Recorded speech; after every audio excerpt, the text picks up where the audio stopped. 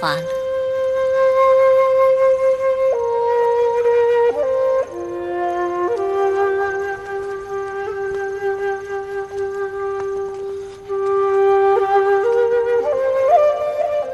这园中的匾额是谁题的？回娘娘，都是宝二爷提的。是他呀！这么久不见，倒是长进不少。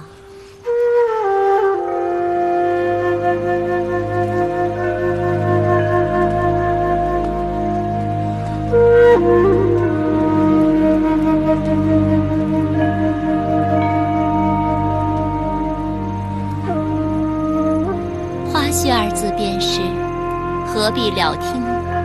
是，奴才这就去禀报。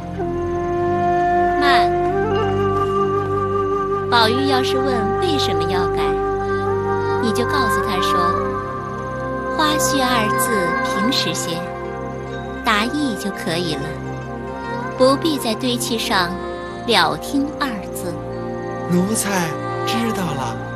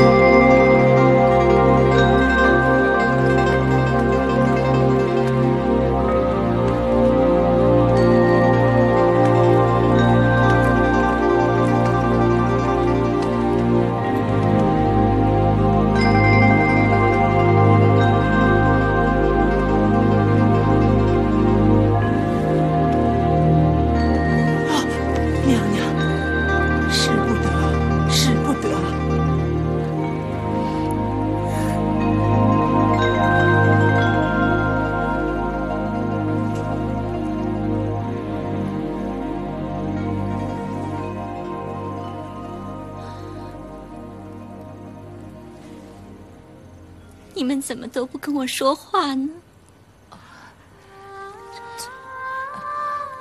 当初是你们把我送到那个在这儿，本应该有说有笑，可是反倒是哭起来。等过一会儿走了，也不知道什么时候能再见一面。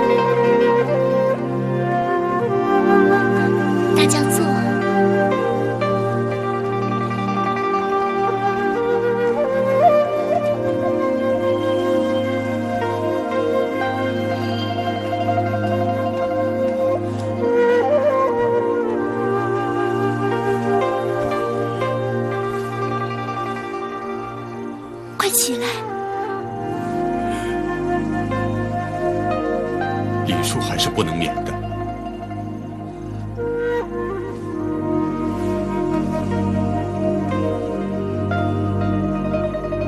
要是生在平常人家，虽然是粗茶淡饭，却也能与父母共享天伦之乐。如今虽然富贵，隆恩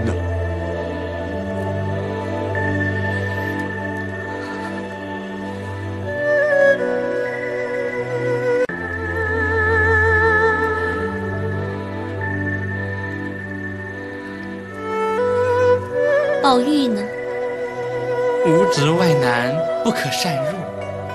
他是我的同胞弟弟，怎么是外人呢？是，让一个小孩子见见我，又有什么关系呢？是。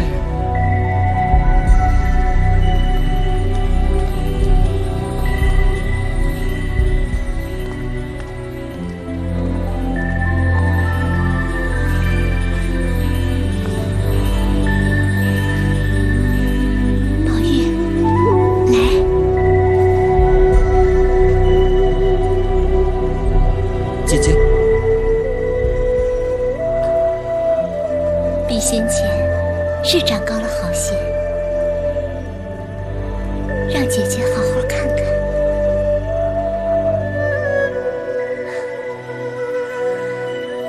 我将你提的聊天花絮改成了花絮，你可明白？